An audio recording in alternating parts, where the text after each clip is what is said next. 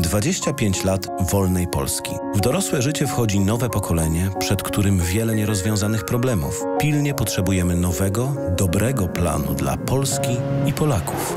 Zdrowie Polaków jest naszym priorytetem. Mamy program bezpiecznej, dostępnej dla każdego opieki zdrowotnej. Polacy pracują najciężej w Europie. Zasługują na wyższe wynagrodzenia i pewniejszą pracę. Polskie rodziny wymagają wsparcia ze strony państwa. Proponujemy konkretne rozwiązania, które pomogą finansowo rodzinom. Zdrowie, praca i rodzina to filary naszego programu. Chodzi o taki rozwój, który zapewni Polakom godne życie i bezpieczną przyszłość.